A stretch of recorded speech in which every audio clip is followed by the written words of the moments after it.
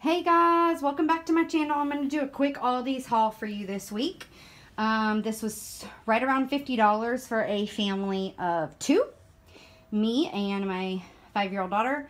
Um, this week we got some cheddar and sour cream potatoes. And I, potato chips, and I shop different places. I shop at Trader Joe's, Aldi, Walmart. Um, so I'll be doing different hauls. We got some whole grain white bread.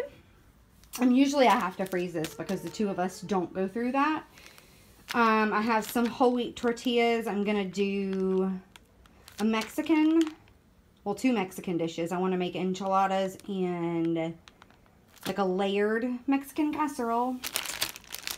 I got the pizza kit, which I love. It comes with two pizza crusts and two sauce packets. So all you need is the cheese, which we already have. We got some raspberries just a packet of loaded mashed potatoes. I just wanted to have them in the pantry. Um, I picked these up this week to try. They are sliced apples with a trail mix and cheese. So I got three of those. I got some turkey pepperoni. Uh, Madison does not like pepperoni, but it'll be for my pizza and then snacking. Um, I just got some light butter. I wish they had more of the stuff that I got this week in an organic variety, but it is what it is.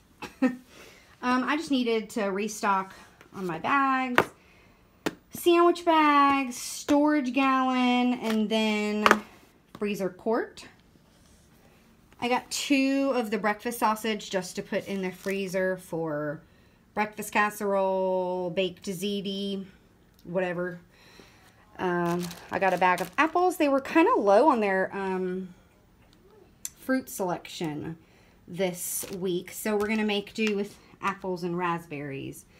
Um, I got some cheese sticks and I got some sliced cheddar cheese for sandwiches and quesadillas and whatnot. I got a cream of chicken and a cream of mushroom. I normally don't like using this stuff, but a couple of my recipes that I'm going to be making to use up some of my freezer stash do call for that. I got a four pack of toilet paper because I still have not made it to Costco. I got a small thing of decaf coffee. I'm not one of those crazy people that drinks decaf, but sometimes at night I want coffee. So I will drink a cup of that. But then I got my regular big ground coffee. I told you guys I'm going to start trying the filter in my Keurig instead of the pods. And this was only like $4.50 at Aldi, so that was great. Um, pepperoni, did I say that? Yes. I got some of the flaxseed for pancake smoothies, you know, all that. And then I just got two of the Aldi brand Lucky Charms. So, yeah, that was my small Aldi haul for this week. Thanks for watching, guys. Please subscribe if you haven't and like this video. Talk to you later.